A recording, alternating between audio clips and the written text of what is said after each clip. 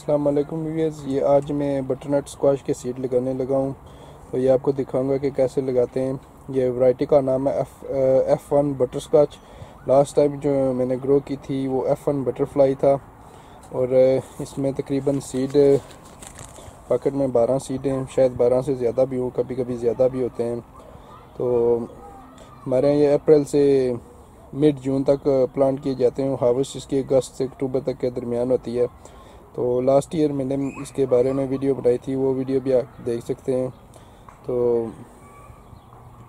یہ میں ابھی ان کو پلانٹ کروں گا سیڈز کو۔ ان کو تقریباً آدھے انچ سے، ایک انچ سے تھوڑا سا کم پلانٹ کرنا پڑتا ہے۔ یہ سیڈ بڑے ہوتے ہیں، تو اس لیے ان کو ایج پہ پلانٹ کرنا پڑتا ہے تاکہ یہ رٹ نہ ہو جائیں۔ جیسے کیوکمبر کے سیڈ ہو گئے ہیں باقی اسکواش کے سیڈز ہو گئے ہیں سبھی کے۔ یہ اس کے سیڈ ہیں۔ لاسٹ ایئر میں نے اس کے دو پودے صرف لگائے تھے، پانچ سیڈ لگائے تھے، تقریباً تو دو یا تین میرے پاس پودے بنے تھے اور اور وہ میں نے پلانٹ کیے تھے اور تقریباً سات سے آٹھ فروٹ ان سے حاصل کیا تھا۔ تو ابھی یہ میں لگانے لگا ہوں۔ ان کو ایسے ایج پہ ہمیشہ سیڈ کو کھڑا کرنا چاہیے۔ آپ یہ پوائنٹی سائڈ ڈاؤن بھی کر کے لگا سکتے ہیں سیڈ اور ایسے بھی لگا سکتے ہیں ایسے سیدھا کر، کھڑا کر کے۔ بار اس کو اس طرح لٹا کر نہیں لگانا، اس طرح سیڈ جلدی خراب ہو جاتا ہے، زیادہ چانس ہوتے ہیں خراب ہونے کے۔ تو اس لیے ایسے کھڑا کر کے یا ایسے ایسے سائڈ ویز کھڑا کر کے لگائیں یا سیدھا سٹیٹ ایسے پوائنٹی سائڈ ڈاؤن کر کے لگائیں۔ تو تقریباً ایک انچ سے تھوڑا سا کم نائنٹین ملی میٹر تک ان کو دبانا پڑتا ہے۔ بہت زیادہ نہیں دبانا پڑ بہت زیادہ گہرا بھی نہیں کرنا اور بہت زیادہ کم بھی نہیں کرنا۔ تقریباً ایک انچ، اس سے تھوڑا سا کم پلانٹ کر لیں اور میکسیمم ایک انچ تک ان کو پلانٹ کرنا چاہیے۔ تو یہ بارہ ہی سیڈ ہیں اس میں، تو میں بارہ کے بارہ لگا رہا ہوں۔ اگر بارہ پودے بنے یا دس بنے یا پانچ جتنے بھی بنے، میں اس دفعہ ان سبھی کو لگاؤں گا۔ کیونکہ یہ ایسا ویجیٹیبل ایسا فروٹ ہے جس کو آپ تھوڑے لمبے ٹائم تک سٹور کر سکتے ہیں، خراب نہیں ہوتا۔ تو اس لیے آپ اس کو زیادہ بھی گرو کر سکتے ہیں۔ تو ڈیورنگ دی ونٹر آپ اس کو استعمال پھر کر سکتے ہیں۔ کوکنگ میں آپ اس کے حلوے وغیرہ بنا سکتے ہیں۔ مختلف ڈشیں ہوتی ہیں اس کی، اس سے آپ کوک کر سکتے ہیں۔ یہ والا سیڈ اتنا ہیلتھی نہیں لگ رہا، لیکن میں نے پلانٹ کر دیا ہے۔ تو اب میں ان کو لیبل لگا دوں گا پلانٹ کرنے کے بعد۔ تو یہ اسکواش فیملی سے تعلق رکھتا ہے۔ تو اب میں اس کو یہاں پر لیبل لگا دیتا ہوں۔ اور اب ایک دفعہ میں ان کو اچھی طرح پانی دے لوں گا اور پانی دینے کے بعد اس کو میں نے اس کو اندر پولی ٹنل کے اندر رکھنا ہے ٹوئنٹی سے twenty five degree temperature maintain رکھنا پڑتا ہے سکسٹی ایٹ سے سیونٹی ایٹ فارنائٹ تو اور ان سیڈ کو موئسٹ رکھنا پڑتا ہے کمپوسٹ موئسٹ رہے، پانی کھڑا نہ ہو بیچ میں، لیکن کمپسٹ گلا رہے موسٹ رہے، تو پھر ان کی جرمینیشن اچھی ہوتی ہے۔ تو اب میں ان کو پانی دے لوں۔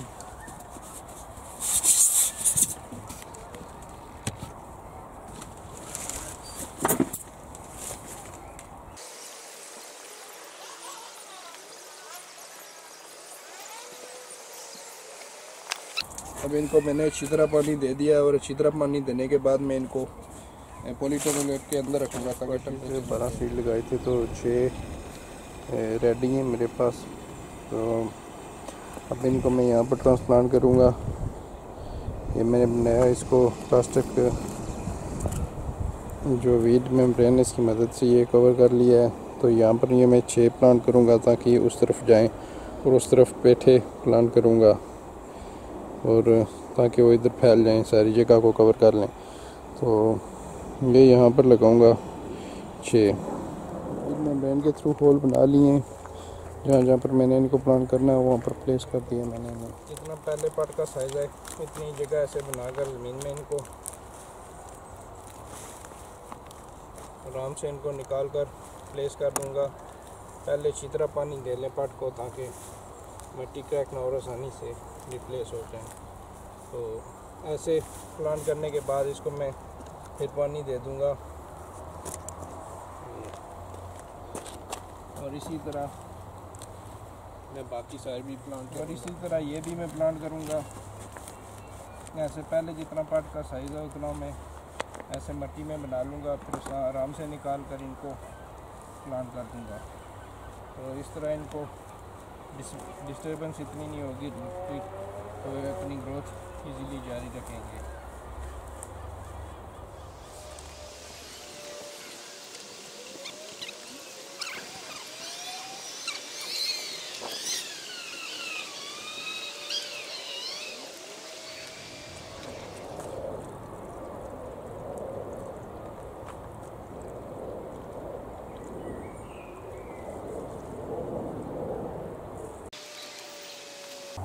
یہ بٹرنٹ سکاش کی بیلیں بھی انہوں نے گروتھ شروع کر دیا۔ اب میں پانی ان کو بھی دے رہا ہوں۔ کافی ٹراؤٹ ہے۔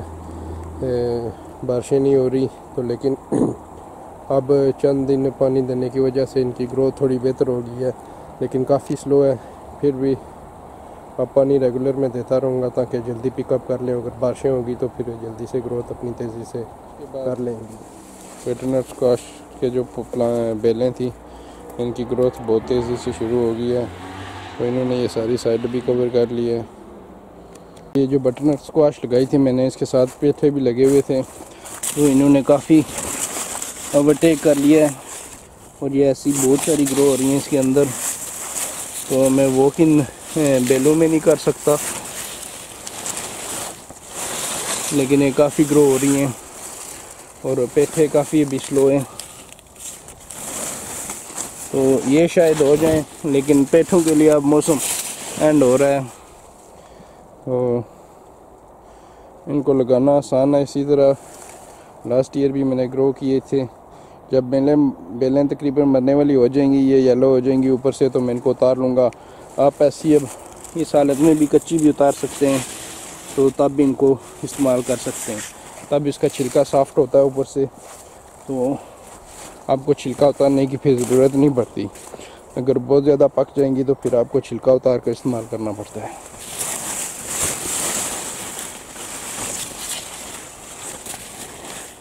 کیونکہ آٹو مگ ہے تو اب میں سارے اپنے اورنامنٹل گوڈز وغیرہ اور اسکواشیز اور پیٹھے وغیرہ ہاوسٹ کر رہا ہوں۔ تو آج میں اپنی بٹنٹ اسکواشیز بھی ہاوسٹ کروں گا۔ کچھ میں نے پہلے بھی ہاوسٹ کر لیے ہیں ڈیورنگ دی سیزن جو تیار ہوتی رہی ہیں۔ تو میں استعمال کرتا رہا ہوں۔ اس سال اتنی اچھی کراپ ان کی نہیں ہوئی تھی کیونکہ بہت زیادہ گرمی تھی۔ تو اس وجہ سے، تو یہ یہاں سے پیچھے سے میں کاٹ لوں گا کیونکہ اس کی اور زیادہ اتنی جگہ نہیں ہے کہ میں اس کو پیچھے سے زیادہ کاٹوں۔ تو یہیں سے کاٹ لوں گا اس کو۔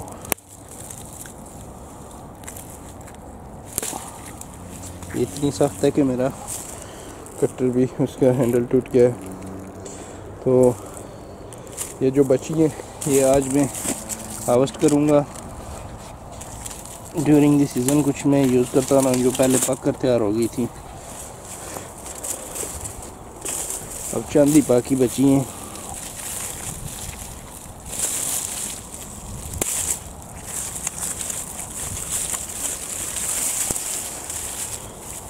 پودے بھی سارے اب سوکھ کر مر رہے ہیں سارے. اور یہ جو ورائٹی اس سال میں نے لگائی ہے، یہ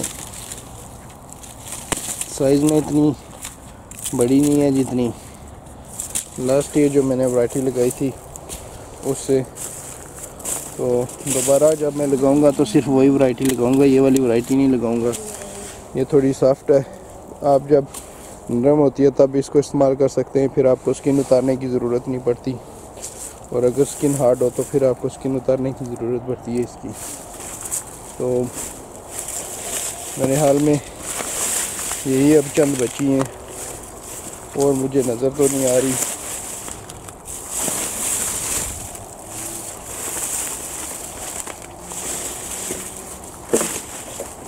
ایک یہ ادھر نظر آئی ہے مجھے۔